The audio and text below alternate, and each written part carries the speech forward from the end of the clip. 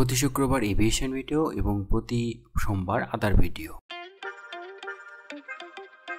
Hello viewers চলে এলাম নতুন একটা ভিডিও নিয়ে, যা হলো এটিআর সেভেন্টি টু বনাম কিউ ফোর হান্ড্রেড শুরুতেই আপনাদের জন্য একটা প্রশ্ন, পর্দায় যে এয়ারক্রাফটটি দেখছেন, সেটা আসলে কোন?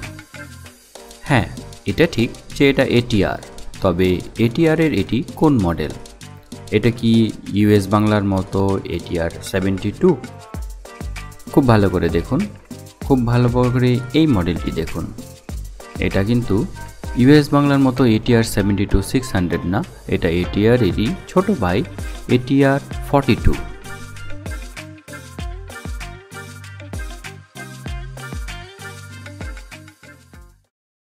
subscribe my channel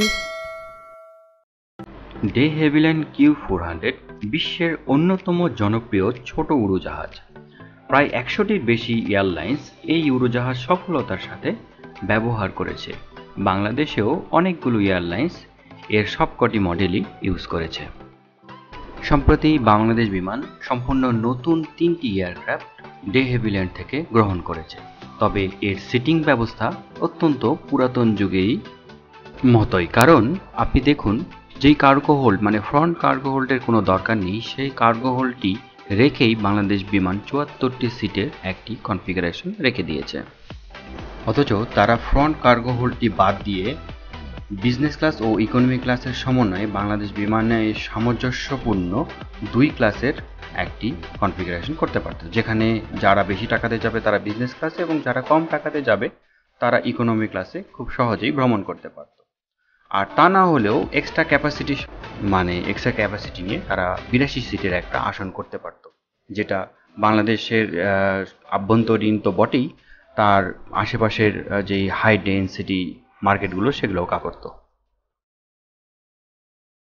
অন্যদিকে এটিআর সেভেন্টি টু কোম্পানি যেটার ফিফটি পার্সেন্ট মালিকানা এয়ারবাসের এটিআর ছোট রানওয়ের জন্য ও ছোট ছোট রুটের জন্য অত্যন্ত উপযোগী একটা এয়ারক্রাফট এতে আরামদায়ক সর্বোচ্চ বাহাত্তরটি আসন বা সিট করা সম্ভব।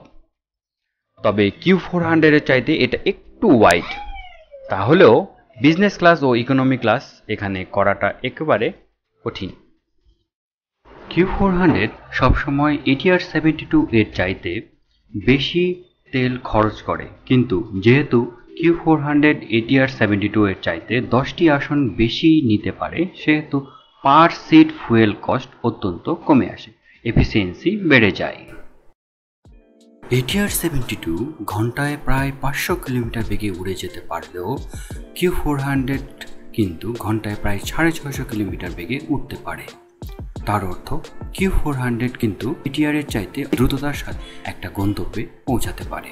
এয়ারক্রাফট কম্পেয়ার ডট কম এই ওয়েবসাইটের তথ্য মতে, এটিআর সেভেন্টি টু এর ফুয়েল ইকোনমি পার লিটারে point three three three kilometre, যেখানে কিউ ফোর হান্ড্রেড পার লিটারে কাভার করে point three nine one kilometre.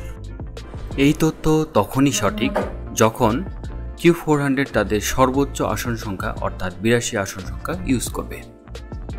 এত কিছুর পরেও প্রায় সাড়ে চারশো কিলোমিটার দূরত্ব, অর্থাৎ ঢাকা থেকে সৈয়দপুর যাওয়া এবং আসা। এই পরিমাণ দূরত্ব গেলে একটি এটিআর তেল খরচ করে টি কিউ ফোর হান্ড্রেডের চাইতে প্রায় পঁচিশ ভাগ কম।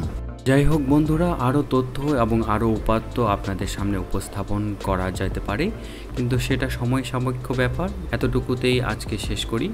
তো সবাই ভালো থাকবেন, আমার জন্য দোয়া করবেন। সালামু আলাইকুম।